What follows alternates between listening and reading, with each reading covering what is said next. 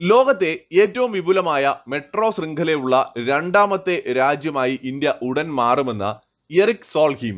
രണ്ടായിരത്തി പതിനാലിൽ വെറും അഞ്ച് നഗരങ്ങളിൽ ഇരുന്നൂറ്റി നാൽപ്പത്തിയെട്ട് കിലോമീറ്റർ മെട്രോ റെയിൽപാതയാണ് ഉണ്ടായിരുന്നത് എങ്കിൽ രണ്ടായിരത്തി ഇരുപത്തി മൂന്നാകുമ്പോഴേക്കും അത് ഇരുപത് നഗരങ്ങളിൽ വ്യാപിച്ചു കിടക്കുന്ന എണ്ണൂറ്റി നാൽപ്പത്തിയാറ് കിലോമീറ്റർ നീളമുള്ള ശൃംഖലയായി വളർന്നിരിക്കുകയാണ് എന്നും അദ്ദേഹം പറയുന്നു. പുതിയ തൊള്ളായിരത്തി തൊണ്ണൂറ്റിയൊന്ന് കിലോമീറ്റർ മെട്രോ ലൈനിന്റെ പണി നടന്നു വരികയുമാണ്. Green belt and road institute president Eric സോൾഹീമാണ് ഇക്കാര്യം ട്വിറ്ററിലൂടെ വ്യക്തമാക്കുന്നത്. ഇന്ത്യയ്ക്ക് മെട്രോ റെയിലിന്റെ കാര്യത്തിൽ ഇനി മറികടക്കാൻ അമേരിക്കയാണ് മുന്നിലുള്ളത്. രണ്ടായിരത്തി പതിനാലിൽ മോദി ഗവൺമെന്റ് അധികാരം ഏറ്റെടുക്കുന്ന സമയത്ത് ഇന്ത്യയിൽ ഇരുന്നൂറ്റി നാൽപ്പത്തിയെട്ട് കിലോമീറ്റർ മാത്രമുണ്ടായിരുന്ന മെട്രോ റെയിൽപാത ഇന്ന് എണ്ണൂറ്റി നാൽപ്പത്തിയാറ് കിലോമീറ്റർ നീളമുള്ള ശൃംഖലയായി വളരുകയും പുതിയതായിട്ട് തൊള്ളായിരത്തി തൊണ്ണൂറ്റി ഒന്ന് കിലോമീറ്റർ മെട്രോ ലൈനിന്റെ പണി നടന്നു വരികയും ചെയ്യുകയാണ്.